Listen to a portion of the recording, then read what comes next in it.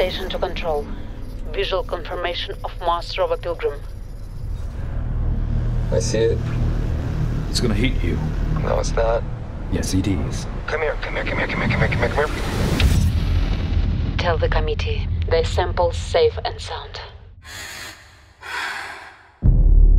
Each passing year has seen our estimate of the probability of life in space increase.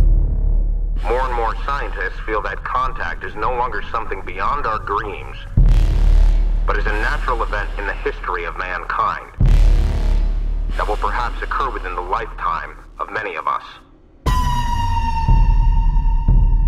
There have been rovers on Mars for 20 years. I wonder what this one's found. The sample is a large single cell, unmistakably biological. The first incontrovertible proof of life beyond Earth. You finally a daddy? It's gonna be a big custody battle over this one.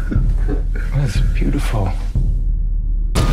The manner of which we first meet life beyond Earth may determine the character of all our subsequent relations.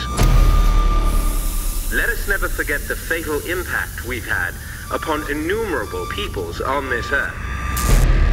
People who trusted us, befriended us, and who we destroy by our thoughtlessness.